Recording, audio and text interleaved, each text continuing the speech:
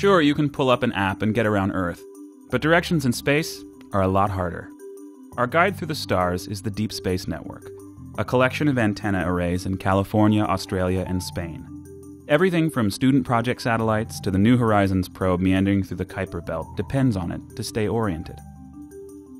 An ultra precise atomic clock on Earth times how long it takes for a signal to get from the network to a spacecraft and back, and navigators use that to determine the craft's position.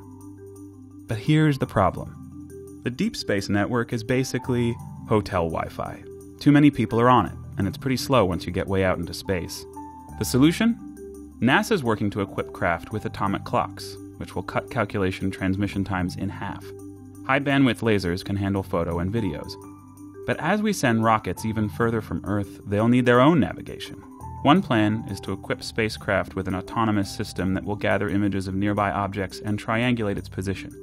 Sort of like GPS for a car, but it'll be called DPS Deep Space Positioning System.